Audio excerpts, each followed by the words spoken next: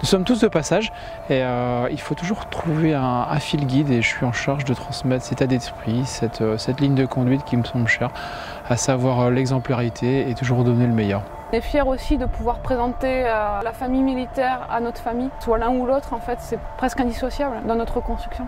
Le fait de porter ce, ce drapeau, c'est aussi rendre hommage à ceux qui sont tombés pour la France. C'est une grande fierté pour nous.